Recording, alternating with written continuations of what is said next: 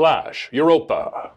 Have you ever wanted to send a postcard into the cosmos? Well, strap in, stargazers, because NASA's gone full on celestial mailman. The big brains at the Jet Propulsion Laboratory are loading up the Europa Clipper with more than just instruments and gadgets. They're packing a poetic message in a high tech bottle for Jupiter's moon, Europa. Hitching a ride aboard the probe is a shiny rectangular plate etched with In Praise of Mystery, a poem for Europa, and a silicon microchip sporting 2.6 million names. Now, Europa might be harboring an ocean under its icy shield, more water than all our earthly oceans combined. So the creators of this plaque collected recordings of the word water spoken in 103 languages. The audio files were converted into waveforms, the visual representations of sound waves, and etched onto the plate. So, are we just throwing a poetic bottle into the cosmic ocean, or could we actually get a reply from the underwater's alien civilization that might be there?